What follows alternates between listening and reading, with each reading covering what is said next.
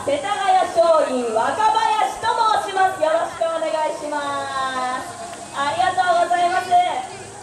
え我々はですね大人からちっちゃい可愛い子供たちまでたくさんの世代が集まっております。そんな我々が、え今回踊らせていただきます楽曲は「大丈夫」という曲となっております。こちら松陰のオリジナル曲です、えー、今まで辛いことがあった人これからいろんな辛いことが起こる人たくさんいると思いますでも大丈夫絶対何とかなるという明るい気持ちを持っていただきたいそんな気持ちを込めていただきます。よかったら皆さん一緒に手拍子それからダンス歌って踊って一緒に楽しみましょう。イエーイ。みんな準備はいいかな？それでは参ります。世田谷松陰若林。大丈夫。